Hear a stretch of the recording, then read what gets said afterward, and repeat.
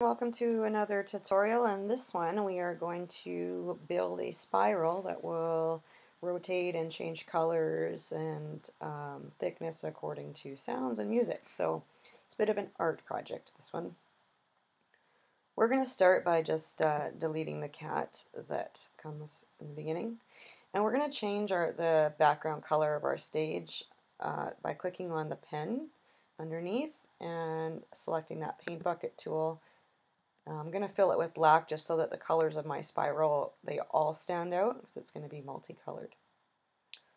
Alright, now we need to have a script. So if you notice if I go to scripts, there's no motion blocks or anything because I can't add scripts to the stage. So I'm going to choose this paint, uh, paint new script. And then I'm not actually going to draw one. I'm going to go into the scripts and have it drop for me. So I'm going to start by, I need to have a, I'm going to go to more blocks and I'm going to start by making a block. And we're going to type in draw spiral. So I'm going to build all of my blocks off of this one. Um, so I'm going to start with, now I can go into the motions and, and add some motions. So we're going to have a point in direction. And inside this point in direction, I need a variable. I actually need quite a few variables for this project. So we're going to go into data and just start making some of those variables. The first one we're going to have is a repeats variable. Make another one. The second one we're going to have is going to be a draw length. Third one, we're going to have a draw length increase. Fourth one, we're going to have a turn angle. And the fifth one, we're going to have a start direction. So quite a few variables we're going to be playing with. We don't want them all showing up here, so we're just going to uncheck all those. Now back in my points direction, I'm going to drag in this start direction variable. From there I'm going to go to the pen and I'm going to choose pen up. And then I'm going to have it start in a direction of uh, center on my screen. So I want to have it just go to uh, 0, 0, x 0, y 0 on my screen. And then I'm going to choose a set the start direction to 0. Alright, so basically what I've told it to do is that we're going to point in a start direction. I'm going to be starting at the center of my screen at 0, 0. Um, and now what I want to do is put my pen down to begin drawing it. So go to the pen and choose pen down. And we're going to need a repeating loop in here so that as it starts to draw my spiral, it will be moving, turning angles, and repeating that process. So I'm going to repeat and with my variable of repeats and I'm going to change my use the drop down and choose change draw length by and in here I want to put draw length increase Um, and actually up here set start direct. Oh yeah, it's set to zero. Good. All right, now what I want to do is I need a motion, so I'm going to have it move. Not 10 steps though, I'm going to use one of those variables I made and I'm going to have it move my draw length. And then another motion, I need to have it turn so many degrees. And again, it's going to be moving my turn angle variable that I made. And once all that's done, I'm going to put the pen back up.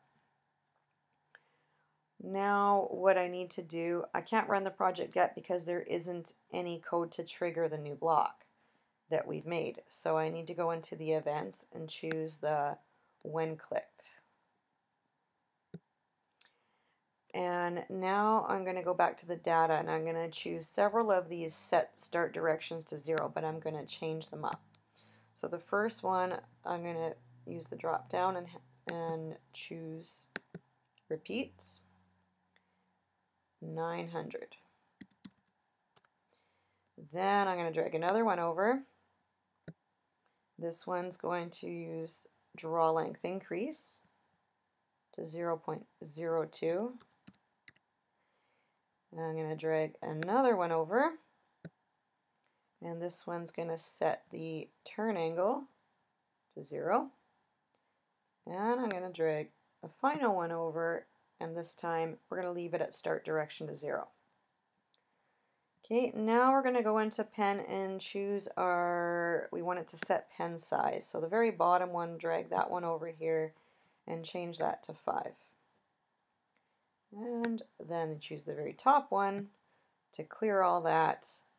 Go into where we made our block, draw spiral. Now you can run the project. Oops, okay, that is definitely not drawing a spiral. So let's just see where I missed something. 0 0.02, turn angle. Oh, sorry, I did not set a turn angle. So we need to set the turn angle here to 6. So let's try that again. There we go.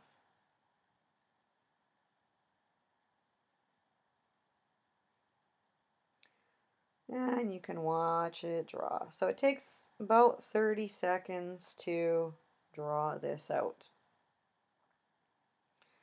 Um, all right, I do see one other slight problem with our script is up top here I have uh, set draw, set start direction to zero, whereas it should say set draw length to zero. So I'm going to try that again. You'll notice it's much tighter in here now. But again, it takes about 30 seconds to draw this out, which is rather slow, so we can speed that up by going up to where we defined our spiral. Oh, lovely. I see that I spelt spiral wrong. Oh, well. So uh, what we can do is edit that. So if you click on that, we want to edit and go to your options. In fact, that's going to bother me I'm going to spell it properly.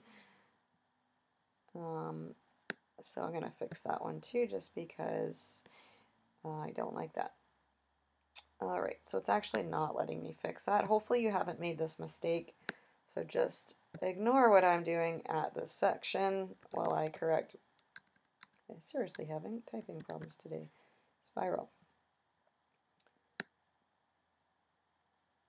Alright, put that in there.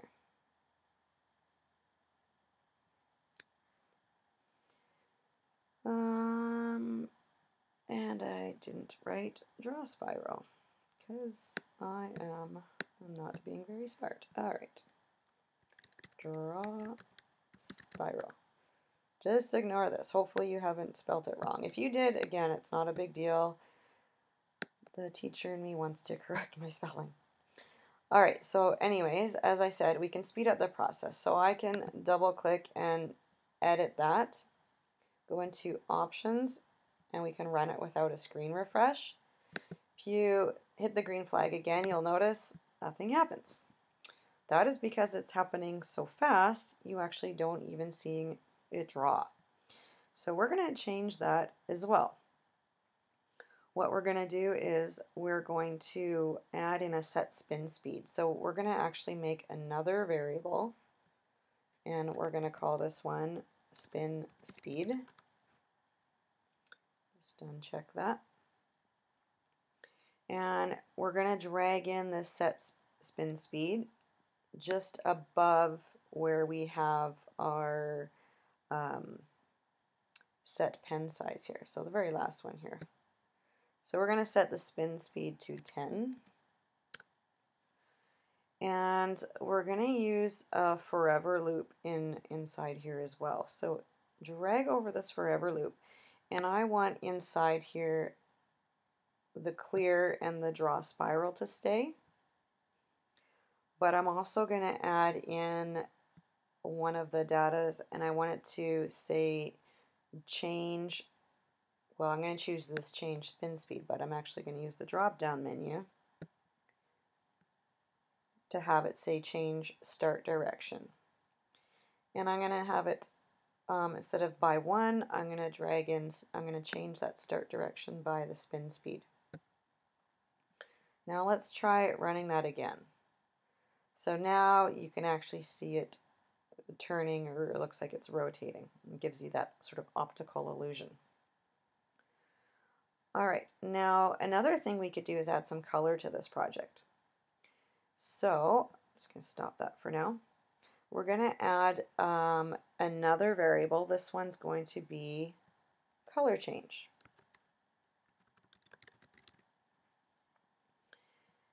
And I'm going to drag uh, a set color change to just in between this pen, uh, pen size and spin speed.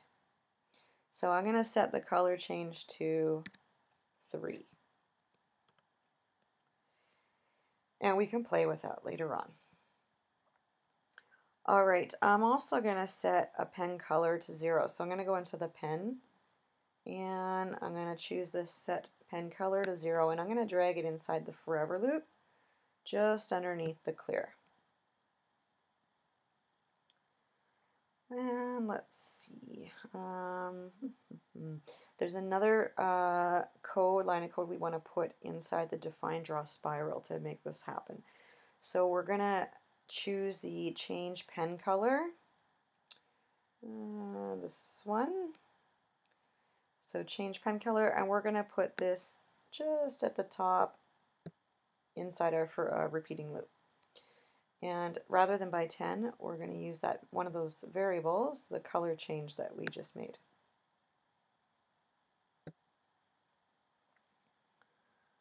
All right, so let's try running that loop again. There we go. Now you can see that we've got color change happening. So another thing that we can do is we can make this color change and the thickness of our lines move according to sounds or music that maybe that you're playing. So what we're going to do next is uh, inside our forever loop, we're going to choose a set where it says uh, set color change to. We're going to put that one just up top here in between the clear and the set pet color, pen color use the drop down and change, um, actually we need to add in another one. So lots of variables in here. So this time we're going to choose make a variable sound level. And now I should be able to drop down here and set sound level to, we need an operator where we want the loudness to be adjusted according to the sensitivity I'm going to uncheck that. So let's go into the operators and choose the one that has the equal sign. And now we can have it sense uh, the loudness into the first uh, circle there. Oops. To make sure it's going inside, not the whole thing. Just want that circle there. So I want to set the loudness to equal our sensitivity data variable that we made. Okay, so I haven't made it, so let's make it. So I'm going to make a variable sensitivity. And now I can drag that into the second circle there. Alright, so now I'm going to choose one more pen. This time I want to set the pen size. So the very bottom one, we're going to put that underneath our new sound level. And I want the send, I, I need another variable. I want to set the pen size to divide by 5. So I'm going to choose this one, the bottom one here, divide by. And I'm going to divide it by 5 Inside the first circle, I want to have my variable of sound level. Drag that one into the first circle. I always seem to have problems getting it inside where I want, that one. Okay, and I'm also going to change what it says in here. So this time I'm going to have an equal operator.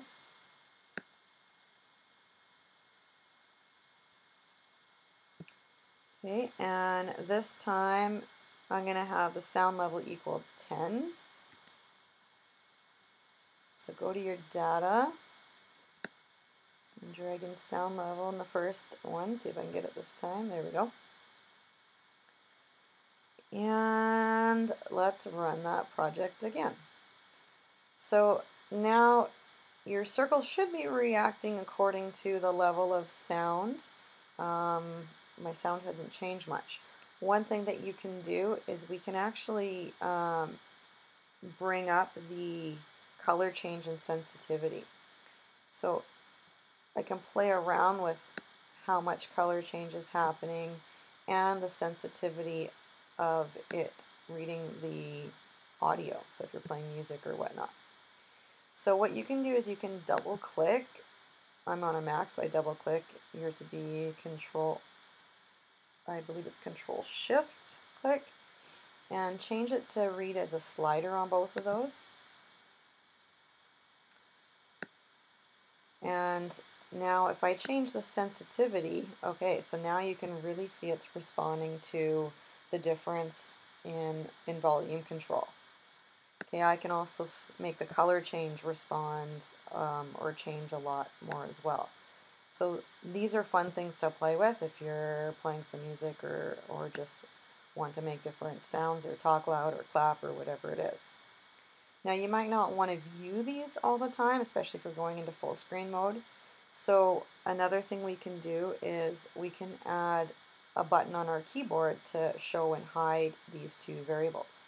So if we go into our Events tab, we can choose uh, when the space is pressed and maybe I want to use, keep it simple and use um, S, press S on your keyboard to show these variables. So go into data and go show variable sensitivity, show variable color change, and then choose a different event or a different uh, button on your keyboard. Maybe just keep it simple again, H to hide. And hide those variables. So hide the sensitivity and hide the color change. So now if I run the project again, I can press H on my keyboard and those variables are gone and S to show them. So, oops, I see why the other one's not showing because I've got two hides in here. So I want to hide, um, or sorry, I want to show the color change up here. I put the wrong one. So show the variable color change. Okay, so let's just run that again, refresh. So show, there we go. They're both showing now so that if I wanted to, I could play with them or I can press H to hide both of them and have this go in full screen. So neat little project, play around with that. Um, you may want to, you know, these are good variables to know how to show and hide in other future projects or have your project re react according to sound. So Hope you've enjoyed this little art project